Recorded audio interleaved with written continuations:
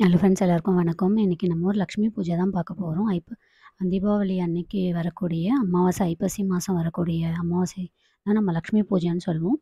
இந்த பூஜையை நம்ம வந்து எந்த ஒரு பூஜையை நம்ம ஆரம்பிக்கிறதுக்கு முன்னாடி அதுக்கு ஒரு நாள் பெரிய நாள் இருக்கும். அதாவது லக்ஷ்மி பூஜை நம்ம பண்ண போகிறோம்னா இன்றைக்கி நம்ம ஆரம்பிச்சிடணும்.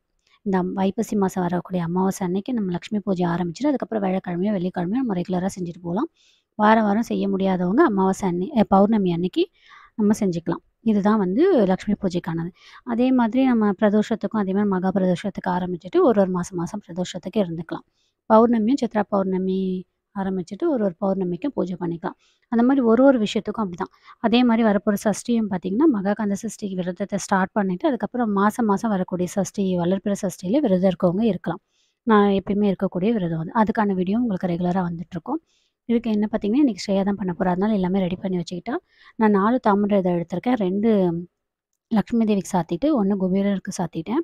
அதுக்கப்புறம் பிரசாதமாக பால் பாலில் பால்ல நாட்டு சர்க்கரை, ஏலக்காய் போட்டு வச்சுருக்கேன் இன்னொரு பிரசாதம் வந்து அவள் வெ நாட்டு ஏலக்காய், தேங்காய் போட்டு எடுத்து வச்சுருக்கேன் கோமாதா வச்சுருக்கேன் நான் கோமாதாக்கு ஃபர்ஸ்ட்டு நம்ம பூஜை பண்ணுறதுக்கு முன்னாடி கணபதியை கணபதி விநாயகருக்கு பூஜை பண்ணிட்டு தான் பண்ணணும். அவருக்கு பூ வச்சுட்டு, அவருக்கான ஸ்லோகனை சொல்லிவிட்டு அவள் பூஜையை ஸ்டார்ட் பண்ண போகிறான் எப்பயுமே நம்மளோட சமயப்படத்தில் கல் உப்பு இருக்கும்.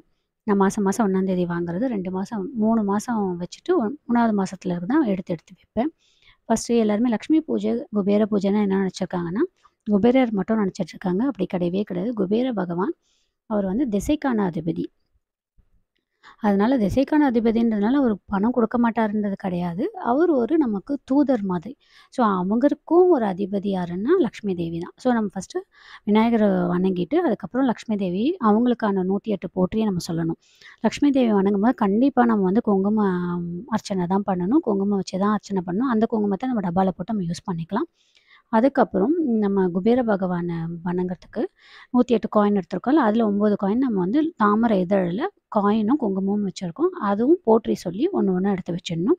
அப்புறம் லக்ஷ்மி தேவிக்கு பிடிச்சமான நெல்லிக்காய் வச்சுருக்கேன் அதுக்கப்புறம் நான் இன்னைக்கு வாசனை பூவுக்கு போகல ஏன்னா தீபாவளி ரொம்ப பட்டாசாக இருக்குன்னு வெளியில் போகல நான் செம்பகப்பூ வாங்கி வச்சிருந்தேன். அதுவே வாசனை பூ சாத்திட்டேன். நான் ஜுவல் பாக்ஸ் எடுத்து வச்சுருக்கேன் ஜுவல் பாக்ஸில் ஜுவல் இருக்கோ இல்லையோ நம்ம வந்து வெத்தலைப்பாக்கு வாழைப்பழம், காசு வச்சு, காயின் வச்சு, மஞ்சள் வச்சு வச்சுக்கலாம். ஒரு ஒரு வாட்டியும் இது நாலாவது வருஷம் நான் செய்கிறேன் ஒரு ஒரு வாட்டியும் லக்ஷ்மி பூஜைக்கான சில பொருட்கள் மட்டும் மாறும். என்னன்னு பார்த்தீங்கன்னா, ஏன்னா அந்த திசை, அந்த டைமு கோச்சாரம், ராசியெல்லாம் என்ன நட்சத்திரம்லாம் கோச்சாரத்தில் இருக்கோ, சேர்க்கை இருக்கோ, அதுக்கேற்ற மாதிரி மாறும். இந்த வாட்டி நான் கோமதி சக்கரம் ஒம்பது தாமரை மட்டும் ஒம்பது எடுத்திருக்கேன். ஏலக்காய் 60, லவங்கம் 60, காயின் 108, தாமரைப்பூ 4, 4 அகல் விளக்கு ஏற்றி வச்சுருக்கேன் பிரசாதமாக அவல், நாட்டு இதெல்லாம் போட்டு பண்ணியிருக்கேன்.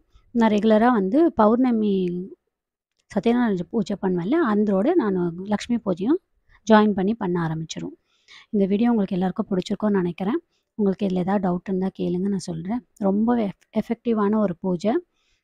இந்த பூஜை பண்ண ஆரம்பித்ததுக்கப்புறம் எனக்கு லைஃப்பில் நிறையவே மாற்றம். நம் அடுத்தடுத்து ஒரு ஒரு வருஷமும் ஸ்டெப் மேலே தான் போயிட்டுருக்கேன்.